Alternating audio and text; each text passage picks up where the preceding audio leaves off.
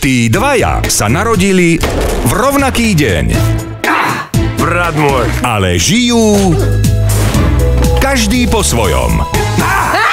Náš dom zhorel. My nemáme kde bývať.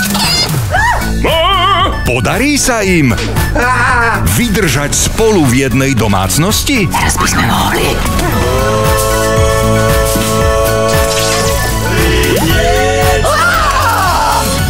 Dvojičky. V sobotu o 19.50 na Pluske.